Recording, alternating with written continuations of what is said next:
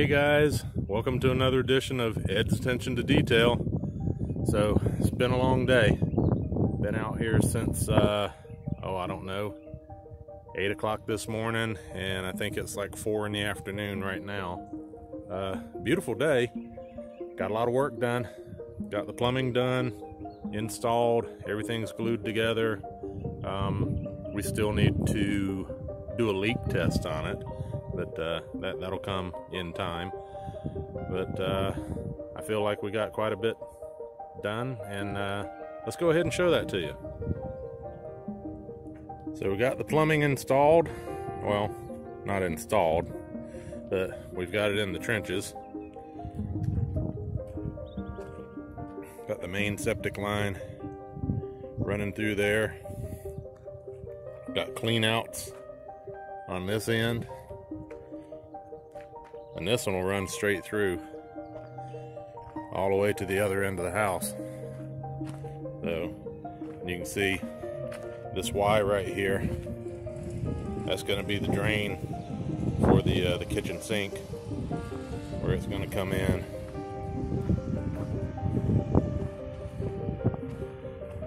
And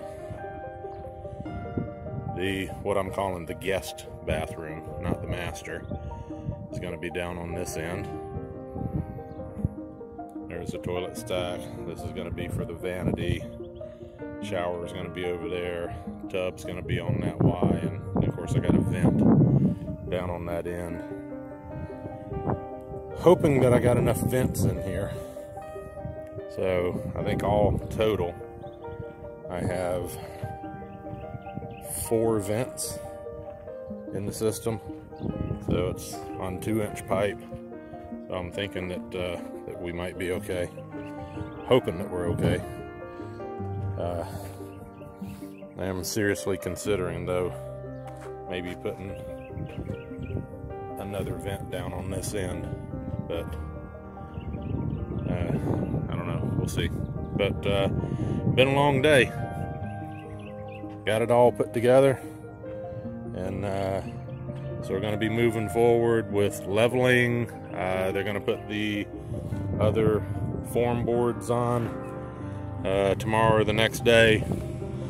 Going to be trenching. Uh, you can see where they've already started trenching for the footers around the edge of the house.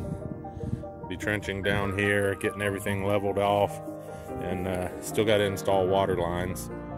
But uh, that should be fairly simple process to do. Uh, you can see the water lines here, the uh, the red and the blue.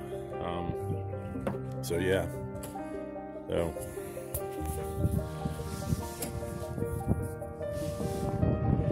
Okay, so there you have it. Remember, pay attention to the details. We'll see you again soon. Please subscribe to my channel if you haven't already, and go ahead and hit the notification button so you know when I'm doing a new video. Like this video, and leave me a comment down below. Let me know what you think. Also, feel free to share this with any of your social media sites.